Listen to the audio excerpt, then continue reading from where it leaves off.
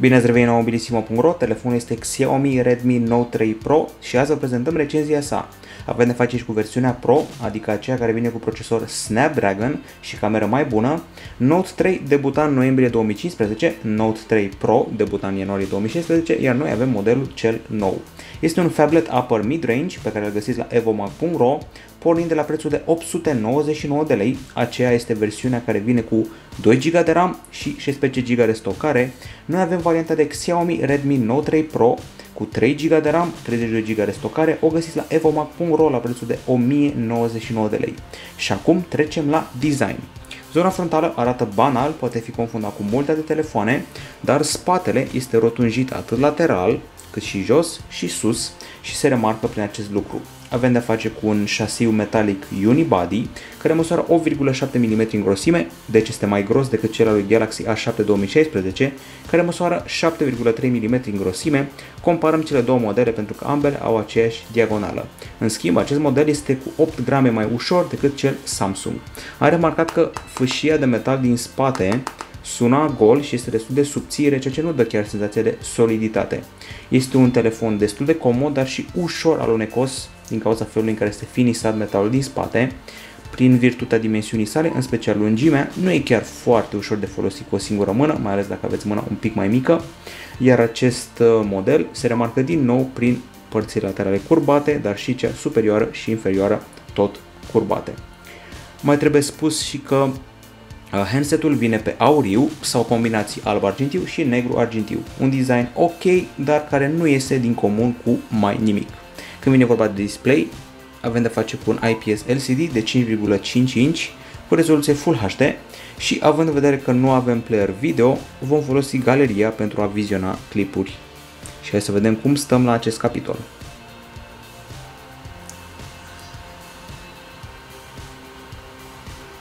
Luminositatea este ok, imaginea este clară, avem unghiuri largi de vizualizare, contrastul este destul de bun, culorile sunt un pic cam reci și imaginea este un pic albăstrie, în special dacă avem mult alb în fundal.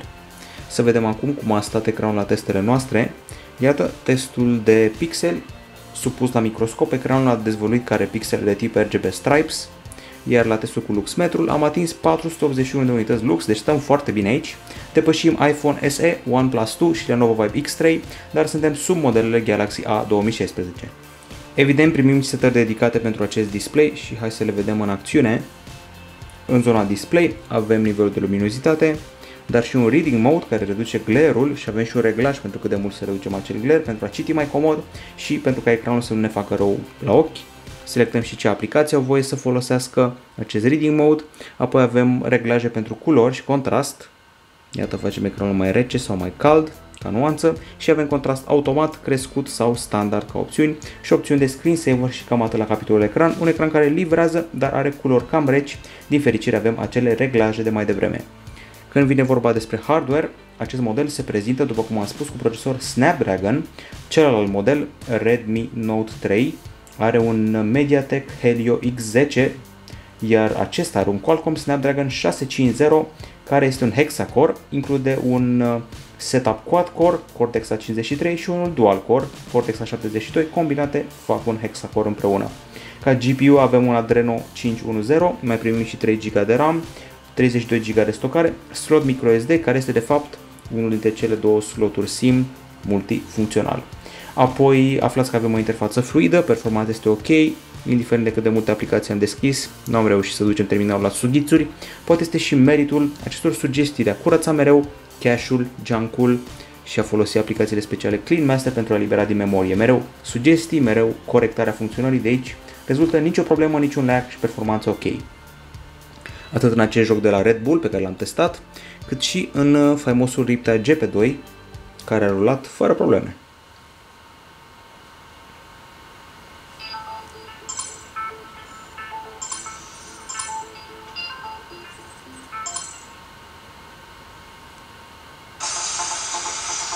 Grafica arată bine, apa arată ok, iluminare bună, răspunde bine și la comenzi, văd că nu pierdem frame-uri, toate texturile sunt uh, unde trebuie să fie, senzația de viteză este bifată, deci niciun reproș pe partea de gaming. În schimb, la benchmark-uri pot să zic că am fost surprins.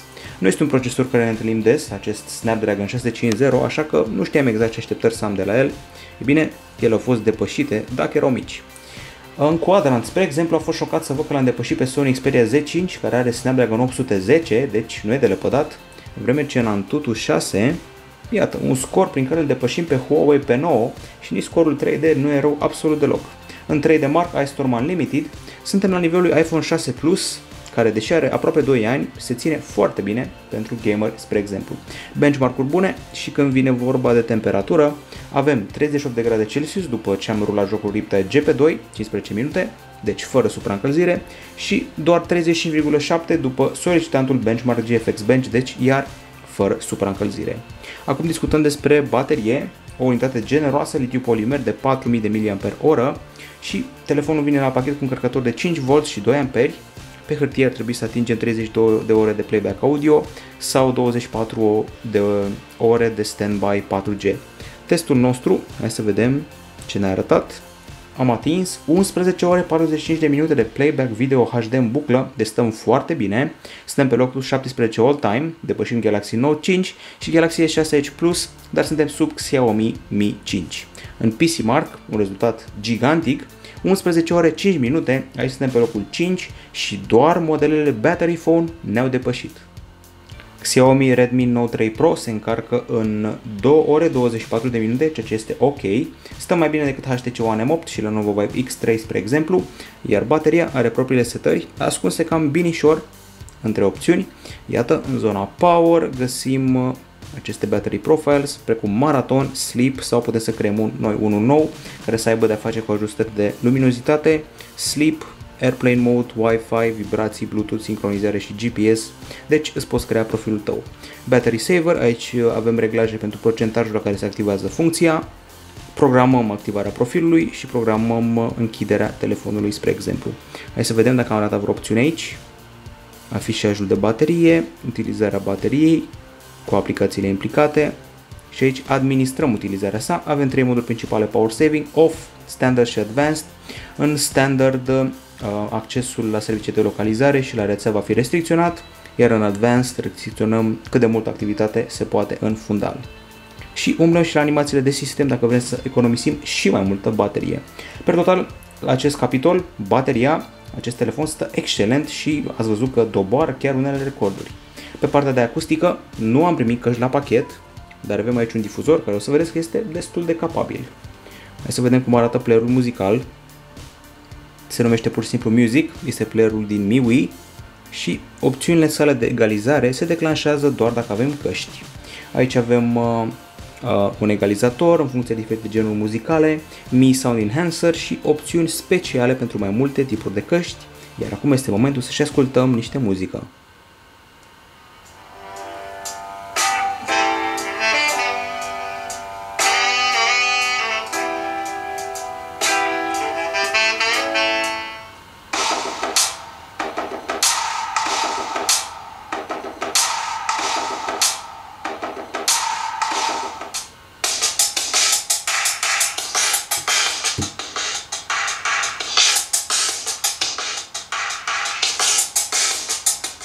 Ați văzut că atunci când telefonul se află pe o suprafață plată, pierde câțiva decibeli, după cum ați remarcat mai devreme. Concluzii, avem un volum destul de bun, sunet clar, fără distorsionare, basul este ok și toate notele se aud bine.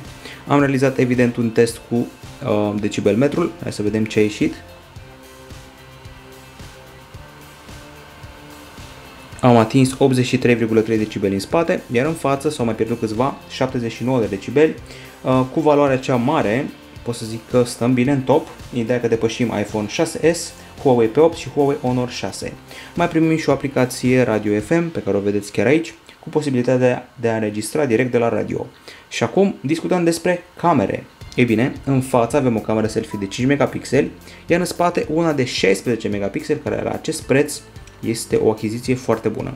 Deschidere f2.0, Face Detection Autofocus, Blitz Dual Tone, focalizare aparentă în 0,1 secunde, iar camera frontală filmează Full HD.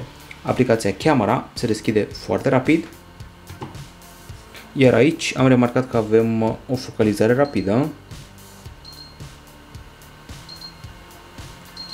apoi uh, zoom destul de fluid, care merge până la 8x, și captura foto totuși nu chiar atât de rapidă pe cât am fi dorit poate, în ciuda prețului acestui model și a pretențiilor un pic mai mici.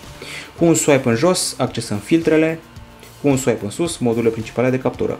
Avem manual, mod nocturn, fisheye, timer, beautify, tilt shift, panorama, gradient și scene mode, iar în modul manual primind doar două opțiuni extra, adică ISO și balansul de alb.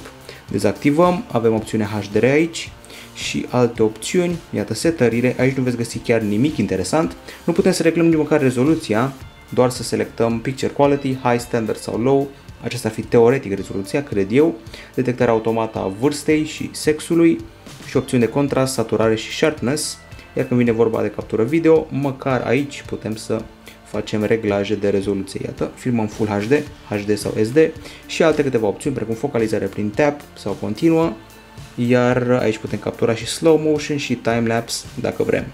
Gata cu interfața, e momentul să trecem la galerie și iarăși avem multe, multe fotografii să vă arătăm.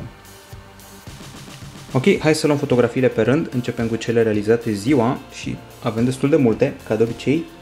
Aflați că la început culorile păreau ok, pot să zic că sunt chiar mulțumit de ele, minus cerul care arată destul de artificial și există o ușoară tendință de oversharpening, iar zoomul, primul nivel este ok, apoi la maxim începe să apară pixelarea. În general am avut imagini destul de clare, aici vedem HDR-ul în acțiune, cadru standard și cadru cu HDR, se vede la acest gard că exagerează cu oversharpening-ul și nu este o nuanță deloc realistă, dar scoate la lumină bine poza. Detaliile sunt bune în landscape și o să vedeți și prin planul cu flori, evident, e vară, flori și culori peste tot.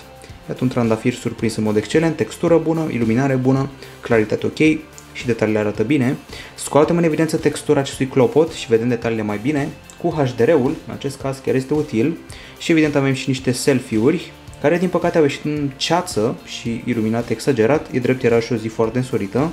Iar aici din nou, HDR la treabă, făcând o treabă chiar bună. Subliniez iarăși că cerul ăsta nu e deloc realist, dar în general am fost mulțumit de calitate. Ne-am jucat aici cu fisheye și cu tilt shift, care scoate în evidență o anumită zonă, blurând ce este în jur, o mașină trăznită cu ACDC, cu o textură excelentă, o captură landscape în oraș care a ieșit bine, pe un telefon cu un preț accesibil, gravitând în jurul la 1000-1100 de lei, eu zic că își face treaba bine, deși o cameră de 16 megapixel parcă cerea un pic mai mult uh, respect, să zic așa, mai ales la capitolul culori. Se simte un pic de oversharpening și un pic de artificialitate a culorilor, iar selfie-urile, sincer, nu m-au mulțumit deloc. Adevărul că nu aveam așteptări chiar uriașe, dar cred că se putea un pic mai bine în acest capitol. Apropo de mai bine, panorama, dezamăgire totală, mică, 2936 pe 432, foarte arsă, dar na, era o zi însorită. Ok, pe timp de noapte, hai să vedem ce s-a întâmplat noaptea. Iată capturile nocturne, poate că la prima vedere o să vi se pară că arată bine, dar când le vedem pe PC vedem, vedem și mult zgomot și camera nu face față întunericului, avem câteva cadre blurate, un pic de ceață uneori, Uh, halo-uri nu foarte mari la lumini, dar destul de mari uneori încât să deranjeze. Iată aici se vede clar, clar că avem o zonă grainy în această fotografie. Ce am remarcat este că blitzul își face treaba bine, iată, fără blitz și aici cu blitz, făcându-și treaba destul de ok. Deci la captura low light nu suntem dați pe spate, este o captură, aș spune, medie, nesurprinzătoare, nu este în evidență în mod deosebit, își face treaba rezonabil și atât. Dacă vreți neapărat o comparație, aș spune că în general avem o captură foto ok, dar oversharpening-ul și acele ușoare probleme cu culorile pun acest telefon la egalitate cu Huawei Honor 7 și Huawei Honor 5X, cu diferența că face selfie-uri mai slabe decât acele modele. În mod clar este sub modelele Galaxy A5 și A7 2016. Când vine vorba de captură video, am filmat în MP4, Full HD, 30 de fps și cu bitrate de 15 Mbps pe secundă.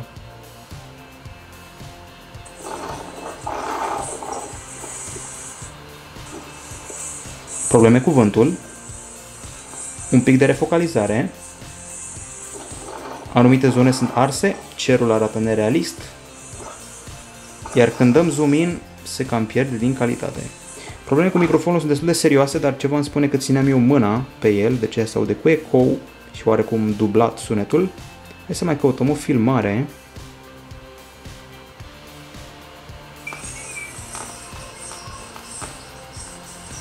Schimbare de expunere stabilizare nu prea bună, claritate rezonabilă totuși și cerul nu arată prea bine. Test de zoom, aici lucrurile devin foarte grainy și suntem dezamăgiți. Pe timp de noapte, chiar uh, nu are rost să discutăm despre captură, pentru că se întâmplă niște lucruri și anume scade bitrate-ul la 7 MB pe secundă și frame rate-ul la 16 fps. Imagine, se mișcă în frame-uri, nu știu dacă se vede pe acest ecran mic, dar pe PC se vede, iar calitatea scade dramatic. Neclar, întunecat, grainy, nu suntem mulțumiți de captura video nocturnă. Per total, captura video putea fi un pic mai bună pe acest model, mai ales că la acea foto nu am avut obiecții chiar foarte mari, totuși l-am pus la egalitate cu telefoane Huawei Honor, deci nu e chiar rău. E bine, la captura video suntem sub mai toate modelele din seria Asus Zenfone 2 și modelele din serie Huawei Honor cam cu 10-15%. Clar sub modelele Galaxy A5, A7 2016. Gata cu camera, vorbim acum despre web browser și hai să intrăm pe Mobilissimo pentru a vedea cum stăm cu viteza de încărcare.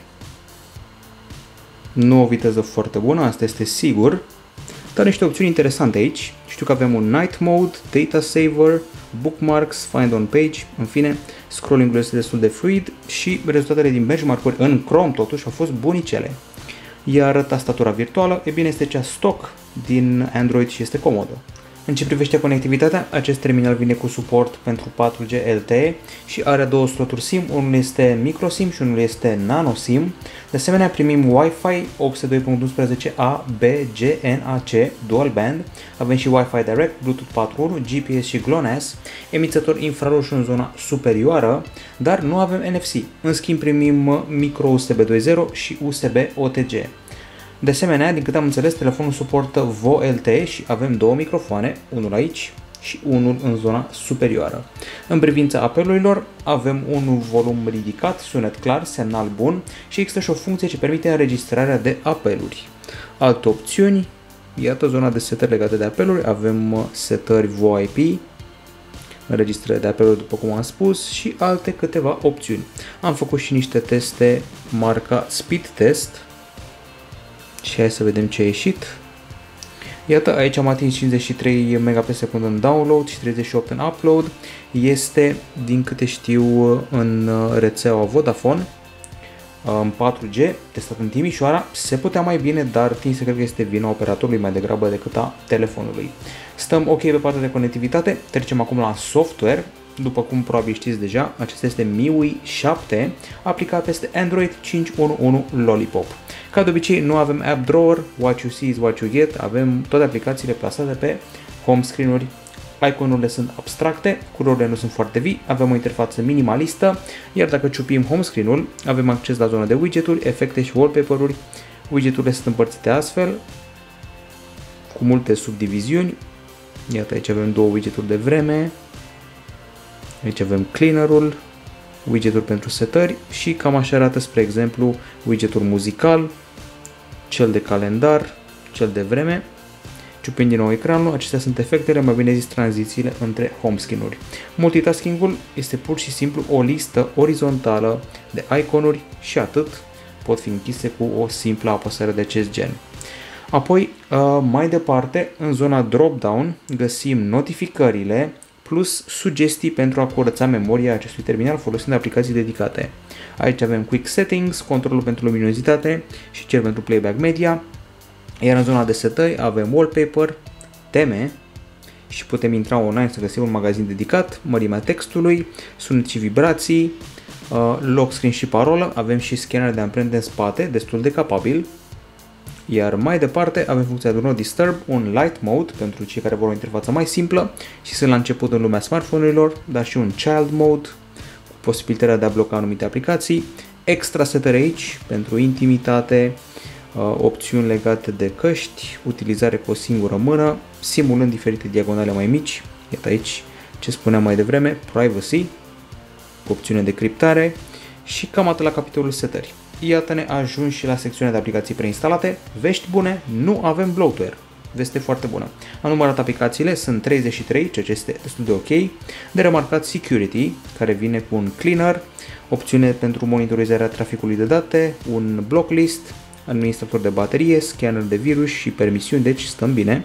Niște tooluri precum uh, înregistrarea audio, report bug, radio FM scanner și Mi Remote, care putem să controlăm câteva device-uri din casă, precum televizor, aer condiționat, ventilatoare high-tech, DVD playere, Blu-ray playere, uh, proiectoare și chiar și camere, aparent. Alte opțiuni de aici, avem uh, o aplicație de la notițe, destul de capabilă, cam la fel ca și cea de pe, să zic, iPhone de acum 2 ani. Uh, CM Security scanează de virus, un browser special și el ultra securizat și aparent mai capabil decât cel standard și Clean Master. Observa că sunt foarte multe aplicații care au grijă de optimizarea funcționării terminalului, deci Xiaomi chiar își dă silința la acest capitol. Iată ne ajung și la final, Acum am ajuns la secțiunea de aspecte pro și contra. Aspectele pro includ prețul foarte accesibil, spatele rotunjit destul de arătos, apoi luminositatea ridicată a ecranului, performanța bună, v-am spus că obținem chiar rezultate bune în benchmark-uri, poate chiar peste așteptări, bateria excelentă, fantastică chiar aș spune, apoi difuzorul din spate își face treaba bine, avem prim planuri destul de reușite și nu avem bloatware, deci acestea ar fi lucrurile bune. La aspectul contra, avem faptul că telefonul este ușor, doar ușor, alunecos, difuzorul este ușor de acoperit pe o suprafață plată, selfie-urile sunt destul de slabe, captura video putea fi mai bună, cea low light foto și video clar putea fi mai bună, iar apoi MIUI nu este chiar pentru oricine, spun eu. Și acum să vedem ce note primește acest smartphone. Pentru design va primi un 8 hardware 9,2, baterie 10, display 8,8, audio 8,6, camera un 8, benchmark 9,5, temperatură un 10, conectivitate 9,1, OS și UI 8,2 și preț o notă de 10. Nota finală pentru Xiaomi Redmi Note 3 Pro este de 9,03 din 10. Este un rival foarte solid pentru Samsung Galaxy A7 2016, chiar se poate bate cu el, minus la aspectul de cameră și poate și design. Are un preț foarte accesibil și foarte atractiv, este de asemenea telefonul cu cea mai bună baterie din zona de preț de 1000-1100 de lei, și de asemenea are performanță bună. Deci baterie bună și performanță bună înseamnă telefon de gaming și telefon de binging uh, de seriale și filme. Găsiți terminalul la Evomag la prețul de 1099 de lei în varianta cu 3 GB de RAM, 32 GB de stocare, iar la Mobilissimo acest model a primit nota de 9,03 din 10. La revedere!